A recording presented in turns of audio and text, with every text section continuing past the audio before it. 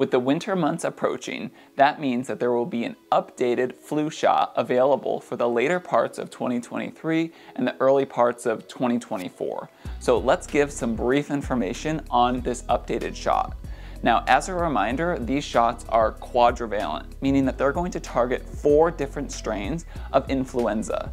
And that's going to be two types of influenza A and two types of influenza B.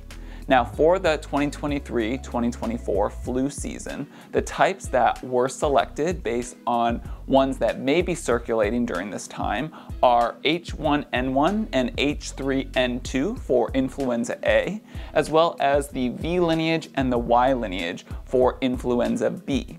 Now, there are two different types of mechanisms that are used to generate these flu vaccines, and that can be either egg based or recombinant based. However, they're both going to use proteins at the end in order to allow that to be placed inside of a vaccine so that way our bodies can recognize a variety of these different proteins associated with these four different strains of influenza, create immunity against them, and then be better equipped to deal with the upcoming flu season.